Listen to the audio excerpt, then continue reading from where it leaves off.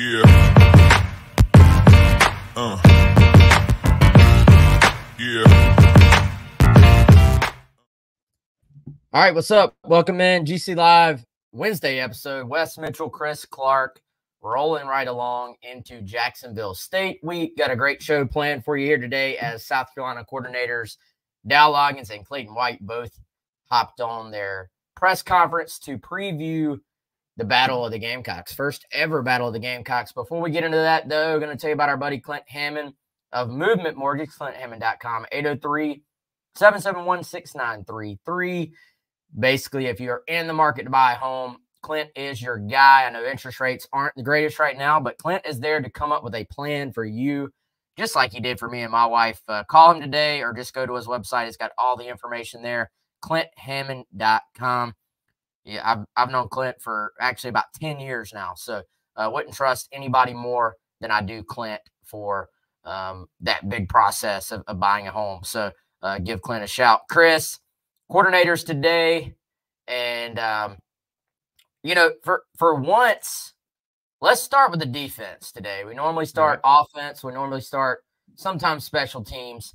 And you know, there was some good stuff from Dow Loggins as well. Some of it I thought kind of confirmed some other things or just put it into Dow's words as opposed to being necessarily new.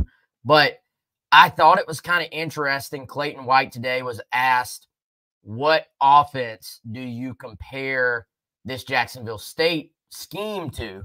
And this is something I don't think we've gotten to yet on the podcast. We we've alluded to it a little bit on the radio show, but this is a spread to run offense. This is a tempo to run offense. Like um, this is not an air raid.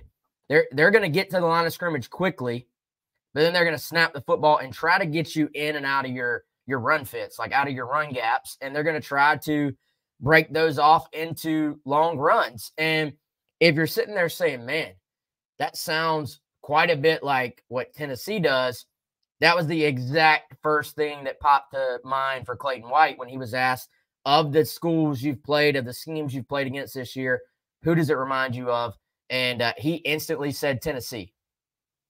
Yeah. And with that comes a challenge, right? Because anytime you're playing a team that can, I would say number one, Russ, run the run the football with that pace, that makes it difficult. So when you think about teams that go fast, that can be challenging because it's tough to run a play, get your heels in the dirt, get the call, and get ready to play the next play.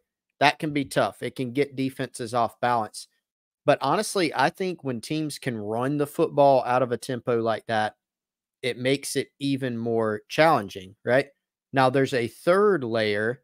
Now, let me back up. Let's not compare Jacksonville State to Tennessee in terms of like overall talent production obviously. Jacksonville State, first year transitioning the Sun Belt, having quite a good year, seven and two under Rich Rodriguez. So I don't want to undersell them. Also, don't want people saying, hey, Chris Clark said that Jacksonville State's as good as Tennessee. Not saying that either. But in terms of the challenges, you have the tempo, you have the ability to run the ball out of that tempo. And there's a third element to this, Wes, and that is that their quarterback can run the football right? And that makes it tough too. So Zion Webb, their starter, missed some time this year. He's he's healthy, seems good to go. He's a guy that can really run the football. Um, he has looking it up here right now what he's rushed for at 460 yards. So even missing time, Wes, he's your second leading rusher. You gotta wonder if he hadn't missed some time, would he be their leading rusher? Has 460 yards on the year, has a 61 yard long, has four touchdowns. He's averaging 5.6 a pop. And we know with the way that Rich Rodriguez administers this run game, the mm-hmm. zone read, it can be tough to get your eyes kind of out of sorts, right? It can be easy to become undisciplined, especially when you're playing the tempo and when you've got threats all over the field. That makes it tough. So, certainly a big challenge. And and I that was the first thing that stuck out to me when listening to Clayton White too is is him drawing that comparison to Tennessee because um, if you got a team that has good players and they're running a difficult to defend system, it, it, can end up being a long day if you don't play well. Yeah, and I, I think you look at Rich Rod most of his offenses, and I, I can't sit here and say I've followed him closely enough, you know, maybe at Arizona or even not, you know, there may be a, there's maybe a year at Michigan where I don't know if he had his quarterback to to run his scheme, but when he has his quarterback, it's always been, hey, this is going to be zone read, and that quarterback run option is a huge part of it. This is not a quarterback who has racked up those yards just on, you know, scrambles or non-designed runs. You're talking about scheming it up where your quarterback has a choice and he's keeping the football. And not only has he hit that number that you said earlier, you know, while missing time, college football, you subtract you subtract the sacks from the running total for a quarterback. So you're talking about I, don't know how many times he's been hit or how many times he's been sacked, but you're talking about um, him hitting a pretty big number while having that affecting his numbers. So I think for them and for his schemes throughout the years, I mean, you can go back shoot, man, I think it's like the early 90s when the zone read became a thing. And it used to be that, you know, you want to talk about having some guys that have are kind of coaching legends. I don't know if you think of Rich Rod as being a coaching legend, but when you think of his impact on the game, he absolutely should be a guy. It's kind of like if we, we talked about Mike Leach and how cool that would have been to see the great late Mike Leach be on the sidelines of Williams-Brice Stadium if they would have played him this year. You know, I don't think you put Rich Rodriguez quite there, but as far as the impact on everybody else's schemes, who doesn't run some element of zone read? It is in every single offense these days. And he's largely credited with inventing the thing. And there was a time when the shotgun was really considered a throwing formation. And you got in the shotgun in passing situations just to give your quarterback a little extra time because people did not think you could consistently run the football out of the shotgun. And now just about everybody has the shotgun as their base offense, and it's because of the zone read. Yeah, and it was fascinating, Wes, because you know I was actually reading up a little bit, kind of going back and trying to recall some of the history of Rich Rodriguez's career. He's had a fascinating career, obviously, and he kind of pioneered. Eh, others were doing some of the obviously the spread, the tempo attack, but he added in the zone read apparently because he saw one of his quarterbacks in practice notice a, a, defender on the end crashing down on his running back and noted that the the quarterback pulled the ball and ran it himself and Rich Rod asked him why he did that and he said well I read the defender and it was a dead play so I kept it. And said well let's kind of create a concept to build around this. So Gamecock fans will remember Woody Dantzler at Clemson under Rich Rod running this offense. You'll remember, I mean, the fun one for me, Wes, was, you know, uh, Pat White at West Virginia. I mean, that was a lot of fun. It's easy to forget because of what Nick Saban has done at Alabama that Rich Rodriguez was incredibly cro- close to being the head coach of the University of Alabama. That would have been fascinating and kind of changed history as well. He obviously had the Michigan stops, the Arizona stops. He's been at Ole Miss you know, as an OC. So a lot of interesting uh, stops for him, but it's no doubt that he's a pioneer of this type of offense that we see so much nowadays, and and even more concepts built off of that zone read to you know a zone read with a throw, a bubble, right? The RPO game. A lot of this stuff that we've seen crop up in college football, he he should probably get a lot of credit for. And just generally, it's a tough system. You know, to go back to how we opened the show, a very very tough system you know to to defend when you got players that can run it well. Well and i you to your point I, you do not probably have rpos if you don't originally have the zone read.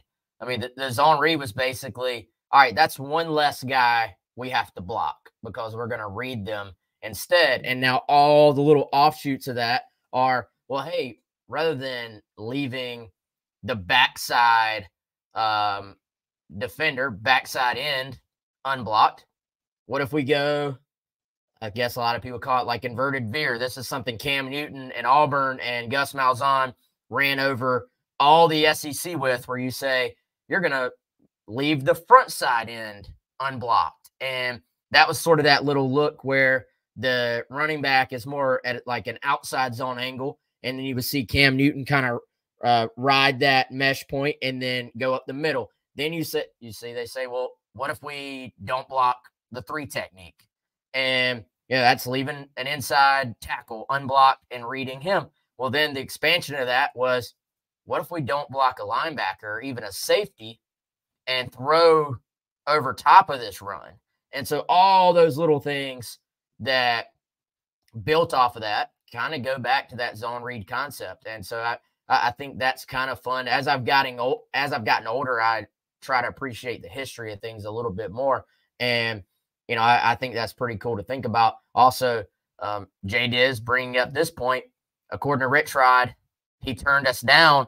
Um, you know, by by all indications, no, Rich Rod did not have an offer from South Carolina. But I mean, Chris, you and I have a very funny story involving that. That's maybe for another podcast. I don't know.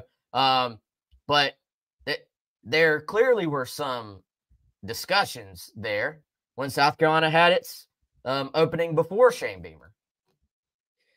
Yeah, that was that was quite a saga, Wes, and and we may, we may have to re we, we need to find a way to tell that story to retell that story because I think we told it um, probably a few years ago. That was in man December 2015. You know, is when that happened when that long process that led to the the Will Muschamp hire at South Carolina um, yeah, that that was fascinating. But it, it was interesting because I remember that night. That this is just a small, small part of the story.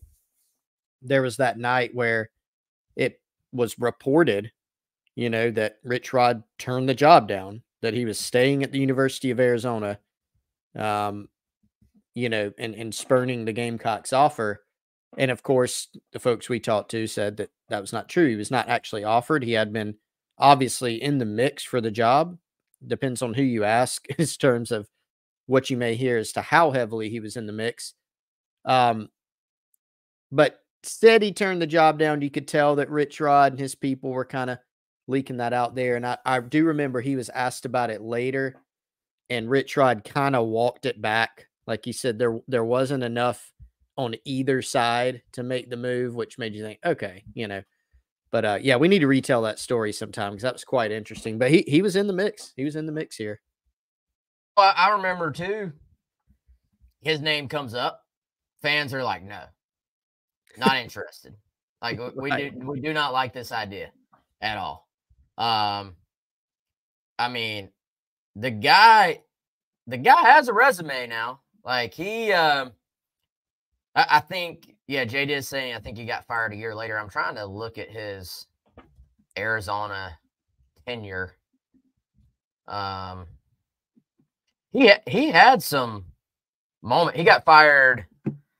Let's see, after 2017 season, because they they had it rolling for a second. Let me see, 2014 they were five and zero oh to start the year, top ten ranking, beat number two Oregon. Um, I mean, I don't know if Rich Rod's the best choice for South Carolina at that time either, but it's not like the dude was just a scrub. You know, like he, this guy knows football. It, it was interesting how universally denied that idea was by the fan base.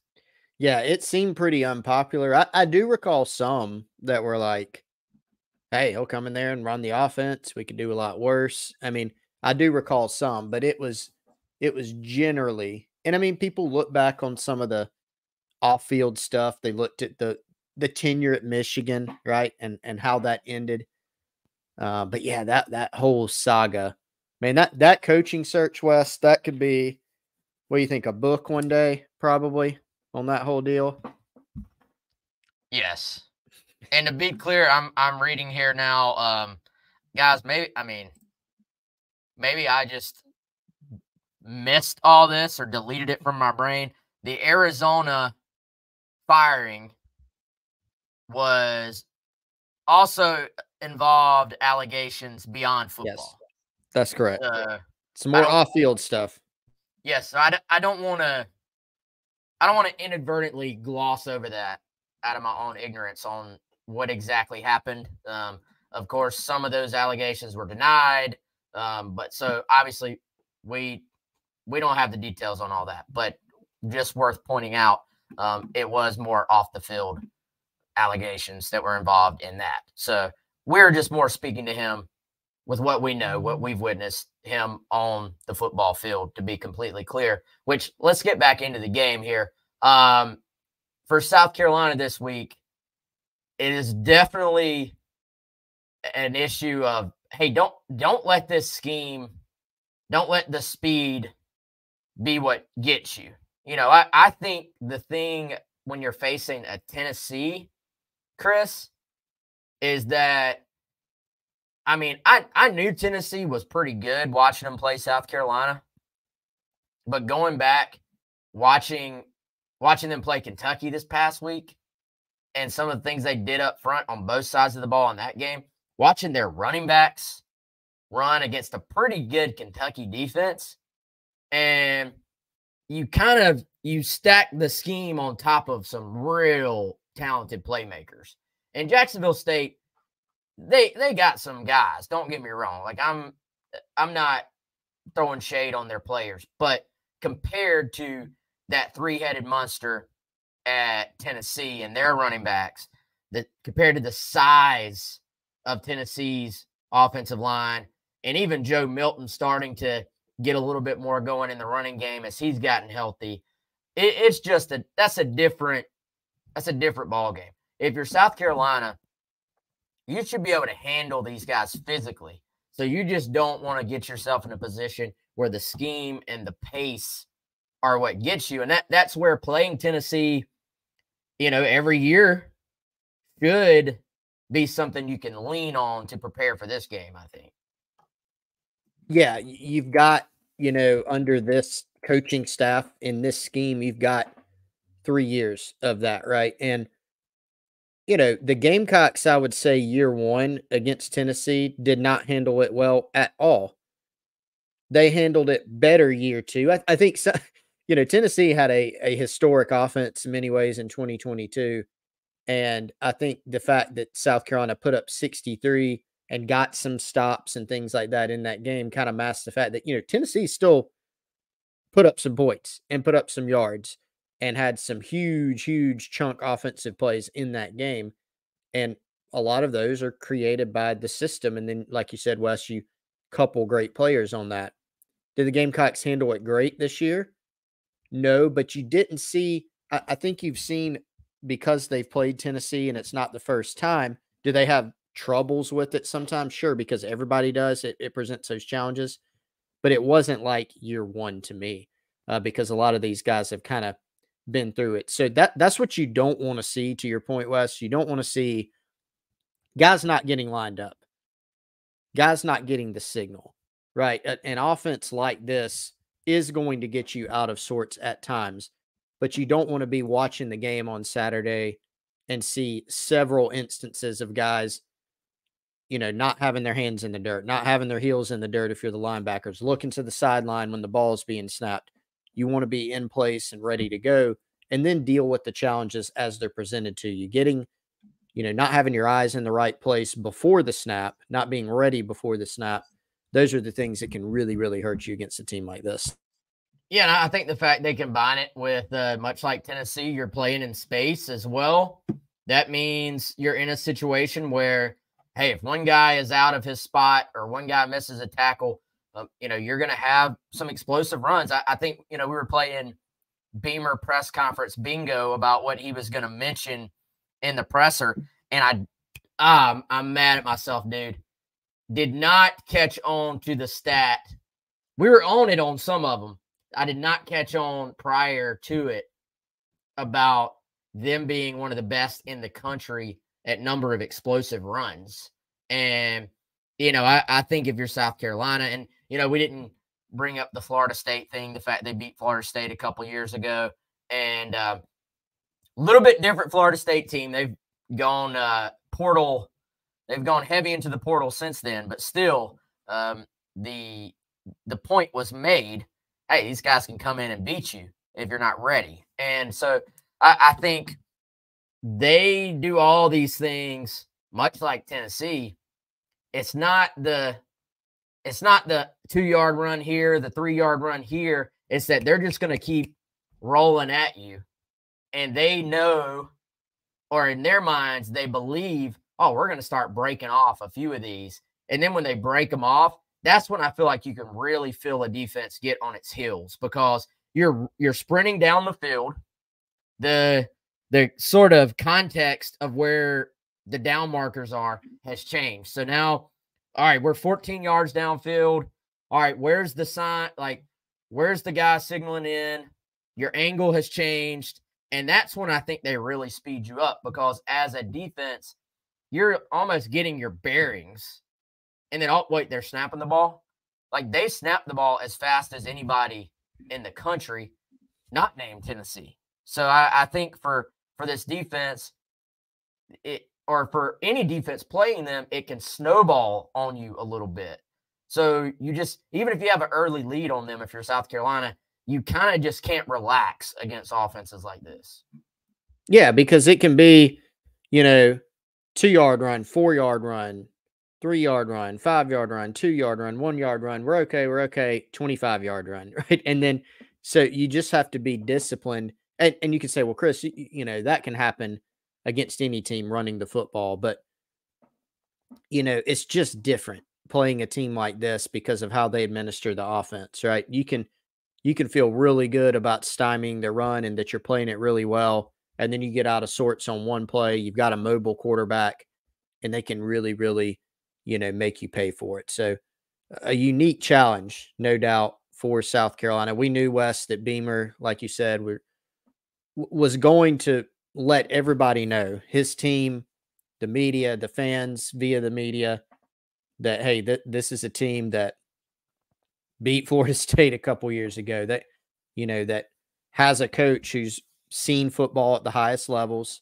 has a, a proven system, a pioneer uh, of a of a particular type of system with the zone read that has good players, that's playing really well this year, um, and that you know, can really hit you in some of the areas that this team, South Carolina, has has struggled with.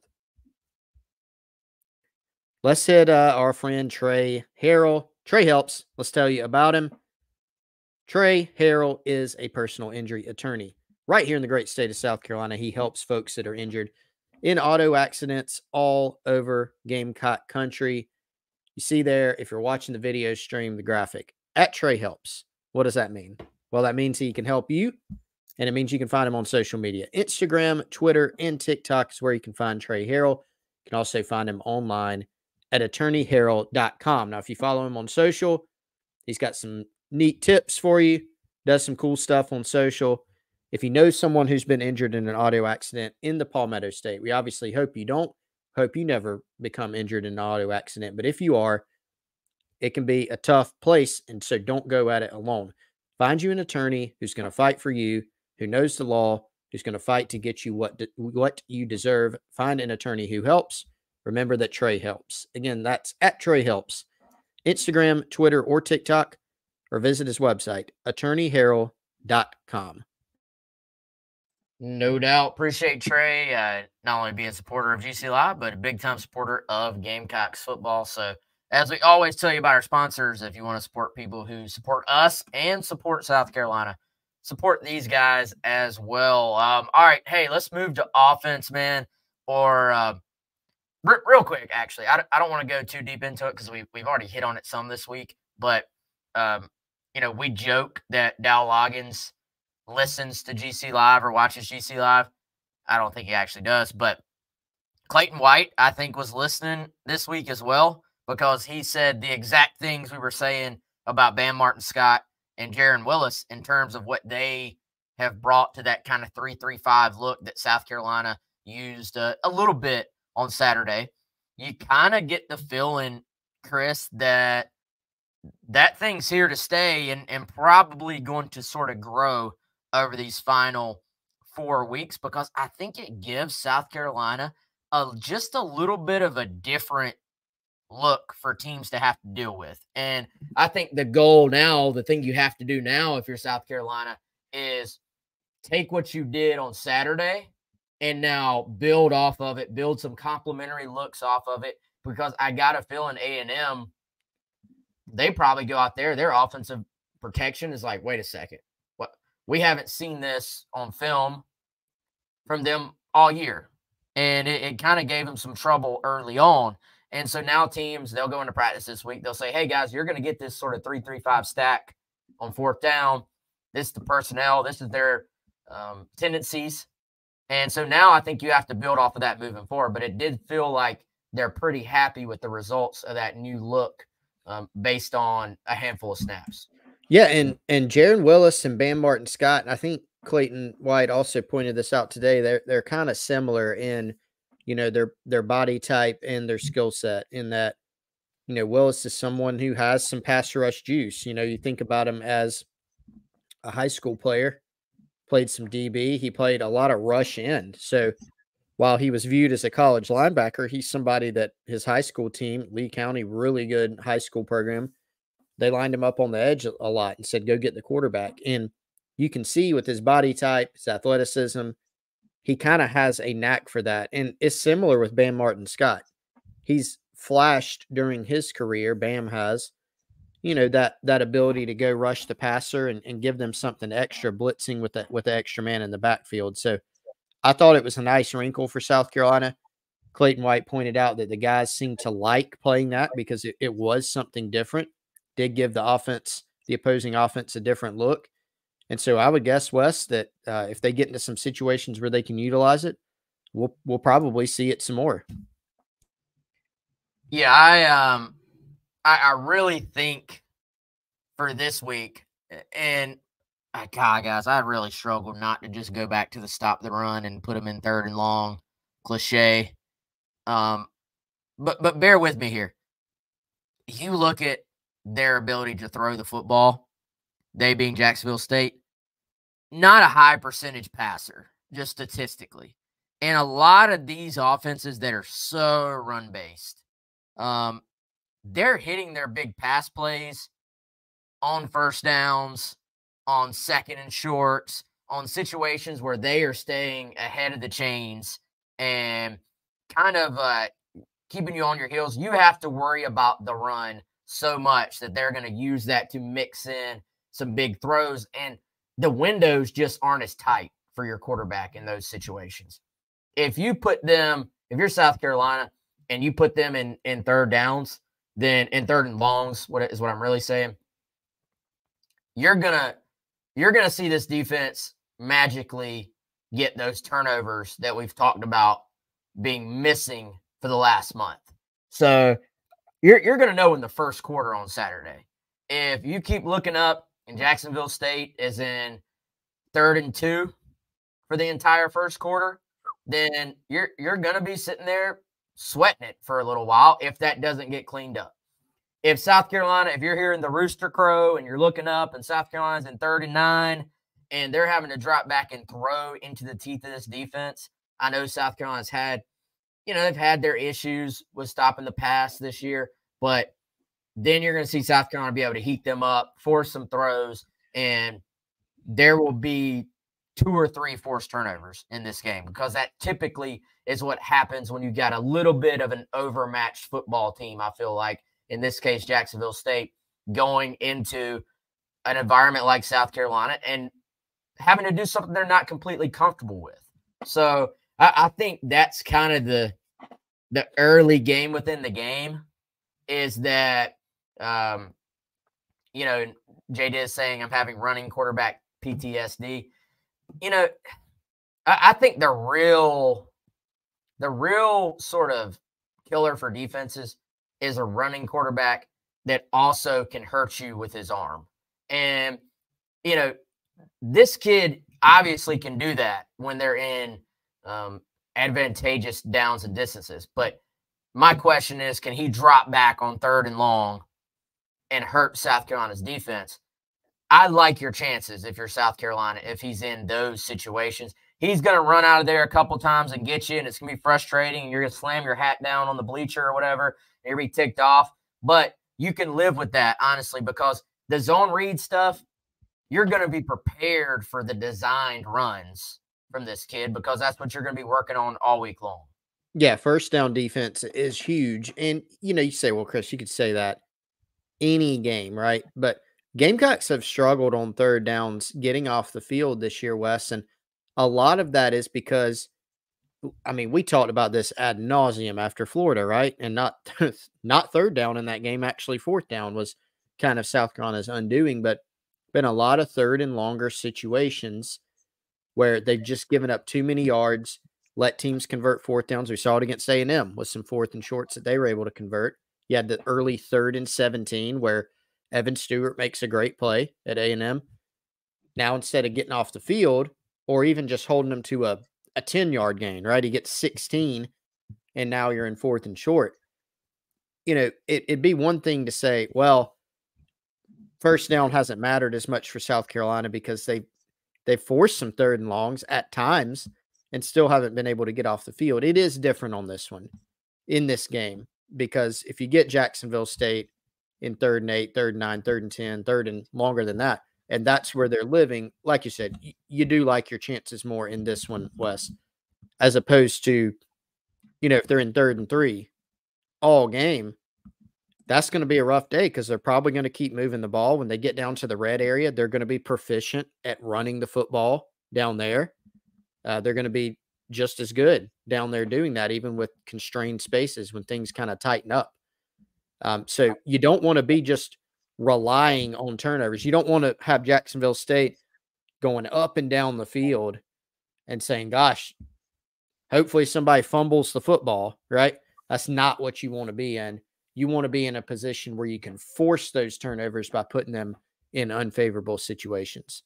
Yeah, and I think this is a game, man, where your your guys up front, like the the one way that you can just completely neutralize a, a good scheme, just win your one on one battles up front. And I, I, know that's that's easier said than done a lot of weeks, but I, I think for South Carolina, uh, you know, TJ Sanders, Boogie Huntley, Tonka Hemingway, those guys in the middle of your defense, this is the week you want them to just win those battles and um, you know, kind of take over a little bit because that's how you that's how you get them off schedule is to have those tackles for loss and, and, and kind of put them at a disadvantage that way.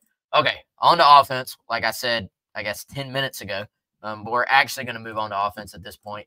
And I thought worth mentioning a lot of this was kind of rehashing of some stuff we've already talked about, I thought, but let's double down on an idea.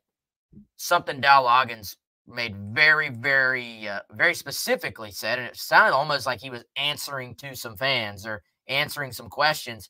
And that was, he specifically said, Hey, some people may say, and we've seen this take on social media, some people may say, why was this guy not in the game week one? And he was talking about Mario Anderson. He was talking about Nyckoles Harbor. And he was like, you guys may not be here at practice to see the progress. And his point was do not assume because a guy is playing more now and making some plays that this was the same player in week one or week four. Now, you know, we're on to week 10, I guess, game nine. And um, these guys need to be commended for making that progress as the season has gone along, as opposed to automatically going to the default of, well, why wasn't he playing week one? Yeah, it, it really should. And I feel like, uh, you know, Dowell kind of went into this in a different press conference. Um, and I can't remember what specifically he was answering then. He's probably talking about Nyck Harbor, right? And just, I know you've harped on this all year, Wes. Like players are not the same. And I think we assume when a guy plays well, that is always what he has been. and, that, and you know, when we talk about development, when fans talk about development, well, you can't say the coaches need to develop guys but then just assume that never took place in the past, right? You know, when we look at guys who were seniors and they're playing really well, and maybe they're playing really, really well for the first time in their career, like they're getting the most snaps, they're starting, they're getting some NFL buzz. It could be that you look back in their trajectory, and when they were freshmen, they didn't do much, they didn't play, they struggled. That happens. And so now, are coaches infallible? Absolutely not. There can there can always be instances where there might be some legitimate parts to saying, shouldn't that guy have gotten a chance earlier? But the thing to remember is generally coaches are trying to play the guys they feel give them the best chance to win. And they do have the most data on that. They chart practice. They see mental mistakes. They see physical mistakes. They see how guys are progressing. And even for Mario Anderson, who had an incredible career at Newberry, I would say, Wes, there is a reason that we went through a large part of the offseason saying, hey, I, I think Mario Anderson will have something to say here. But we it's not like we were hearing this guy's far and away the best back on it wasn't like when Marcus Lattimore came in. He's a freshman, and you immediately start hearing he's the best back on the team you, you didn't really hear that. And that was even knowing that he put up huge numbers at Newberry, you knew there'd be an adjustment, right? And so he's continued to come along and get better and better. He's gotten better. Remember something early pass protection, Wes? He's gotten better there. He's gotten more and more comfortable. And then as he's gotten more comfortable, he's been able to rely on those physical traits that made him so successful at the smaller level and that have now been able to translate. Same thing with Nyck Harbor. I mean, the Nyck Harbor that we just saw against A&M, that wasn't Nyck Harbor from week one. That's because there's a progression and there is a development. So I think you make a great point. That's a great way to put it in that celebrate a guy's development and progression instead of saying, well, he did this in week eight. That means he could have done it in week one, especially for young players. That's not true. Travis saying, uh, a good point here. It's coach speak, but coaches are going to play the players they trust. And if, you know, and another way of saying that is it, it is easy, even, you know, Dow was talking about even Eli Drinkwitz sees Nyck Harbor and is like, man, that's a good looking kid right there. And everybody that sees Nyck Harbor for the first time in person is like, all right, he looks like he could be in the NFL right now. Like that, that's a thing. Physically, he absolutely does look like he could be in the NFL right now. But I think when when you and I and fans and everybody sees a guy who looks great athletically, but then, you know, we see him make some plays and we go, why haven't they been playing before? Well, we're not seeing the hidden plays where, um, you know, let's say a guy runs a wrong route. A guy running the wrong route can be the difference in an incomplete pass or a completion versus interception going the other way. And you know, you want to look at a running back. The uh, the running back and his ability in pass pro can be the difference in your quarterback getting hit and um, your quarterback not getting hit. So, um, and Troy says you don't know what a player can do until you put him on the field. I disagree with that take a trillion percent. Um, like I, I used when I, I used to kind of, you know, some guys are gamers, some guys make plays in games. Yes, that is true. Some guys step up to the moment when they really need to, and some guys play down to the moment.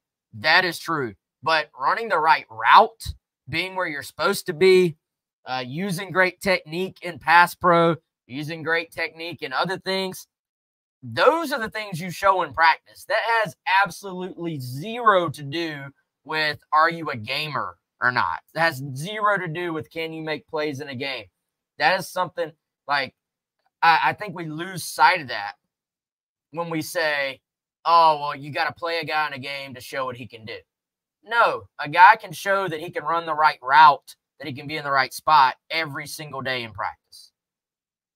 Yeah, totally. There, there are things that you know, something Loggins I think says is you you you play how you practice, right? And so Wes, I'll be honest. So, so an example, an example using Nyck Harbor of both of these things that we just talked about. So, like that catch he made against Florida, I was honestly a little surprised by it, right? Like because you knew that consistency with hands is something that he's been working on to his credit very hard and, and a place where he's come a long way. That was a manifestation of that. Spencer Rattler had confidence that I'm throwing the ball. Nyck Harbor went out and got it. staff trusted Nyck Harbor to be out there in that situation. And so I think he rose to the occasion on that, right? But why did that happen? Well, it's because he has progressed and has put in that work. Earlier in the season, would they have trusted, would Spencer Rattler trusted to throw that ball? Would the coaching staff had trusted him in that situation? Maybe not, because in game one, as a freshman, given all the circumstances, you just don't know. And so, yeah, running the wrong route, interception, sack, getting your quarterback hurt, getting your quarterback injured, a lot of negatives. And if a guy hypothetically, hypothetical situation, is running the wrong route consistently in practice, the place to work on that and to workshop that is not in let you know what let's put him out there against a&m and i bet we'll we'll kind of figure it out on the fly. That's probably not the best you know place to do that. So there are things you have to work out and practice and improve upon and then when you get in the game situation and you're comfortable then you might can you know you're going to have the opportunity to to rise to the occasion and, and do it in that situation. Yeah and um, i see some of the comments specifically on uh, mario anderson and uh, saying hey he looked like he maybe was the better back the very beginning the, just watching him run the football i i think i think that maybe ignores two things one of those being the away from the football part of playing running back. And the fact that you better have that part down as well. And Mario Anderson himself has told us, look, Coach Hardesty sort of broke me down and built me back up. And I had a long way to go in pass pro. It also ignores the fact that so game one is a game one. You're going you're always rolling out your guys you trust the most in game one, especially away from home against a power five opponent. By game two, guys, that's Furman. They emptied the bench in that game. Everybody got to play. And frankly, I don't think you could tell anything about the running backs in game one because there was just literally no room to run.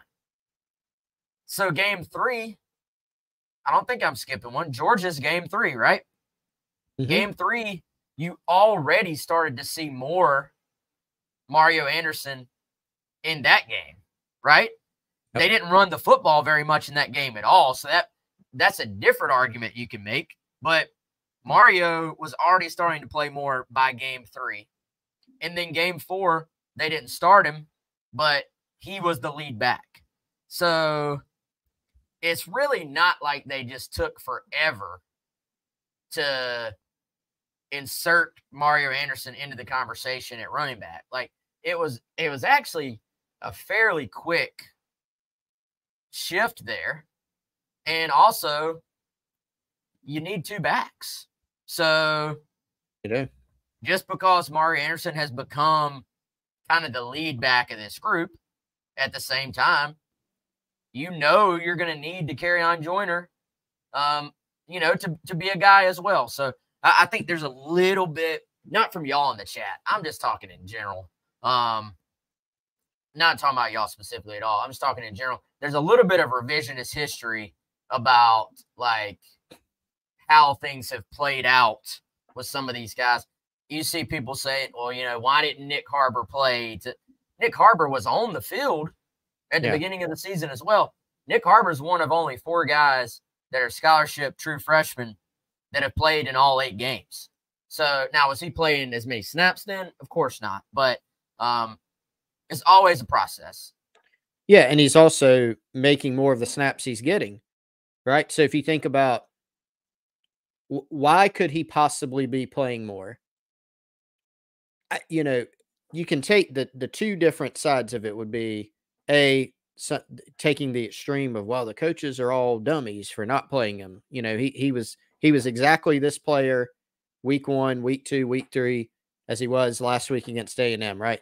They're dumb for not playing him. Or you could go to what I think is more realistic of Nyck Harbor's been working hard and he's improved, right? He's improved his hands, he's improved his route running, he's become more comfortable, he's become more confident.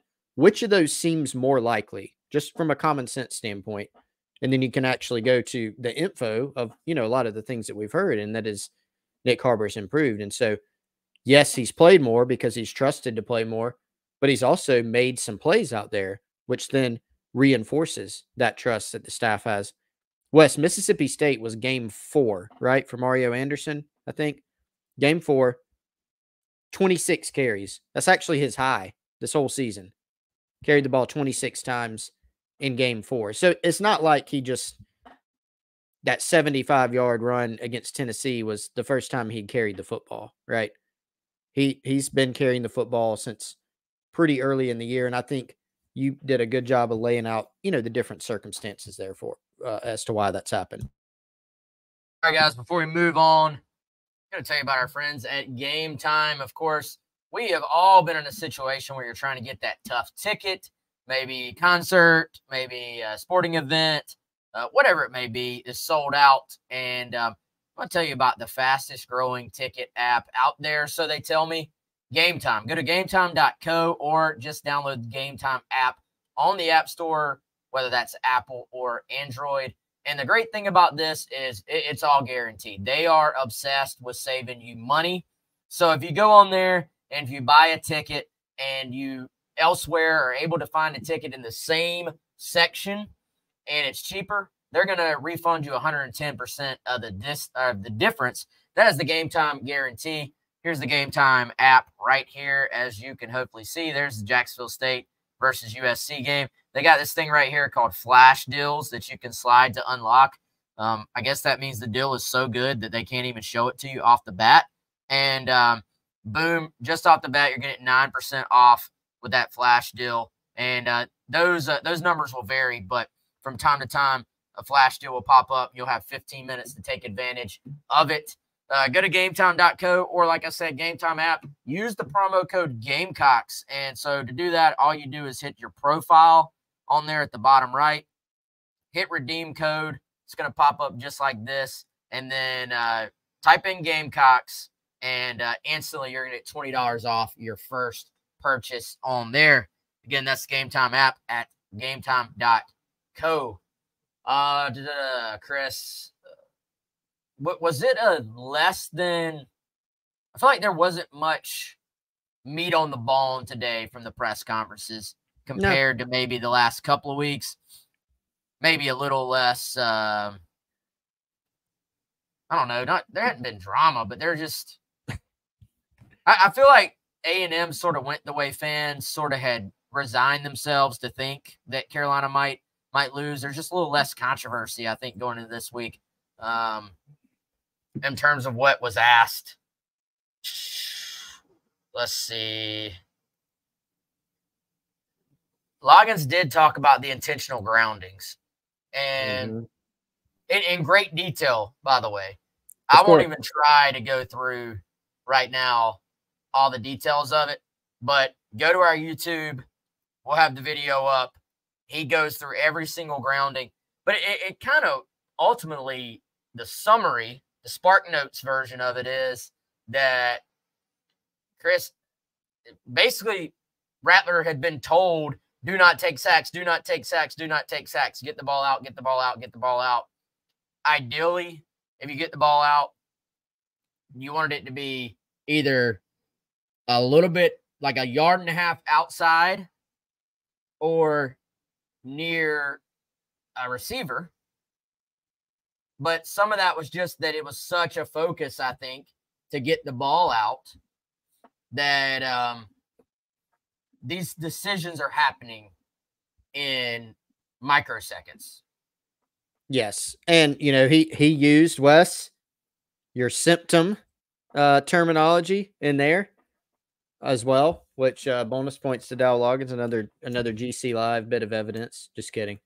Uh but yeah, I mean, I, I think it kind of his explanation to me without getting super like dialed in and granular on it, is kind of what we suspected after the game of you go in there against a team that's leading the country in tackles for loss and leading the country in sacks. You know that against this defense that's been really good on third down, you can't go down in there and get and have third and 17. And and so what ends up happening is you're hyper focused on that. I'm not going to take a sack. I'm not going to take a sack. And you end up getting rid of the ball and you you end up in that instance making a few plays where you know maybe one of them you could have spun out of there, right? You've also to to, to Rattler's credit, you've tried that a couple times this season and end up getting caught, right? Um, for four sacks. And so for him, you're going to get rid of the football. You've had it kind of drilled into your game prep. Unfortunately, there were just a few situations where the ball wasn't quite in the right place or you weren't in the right place given where you threw the football.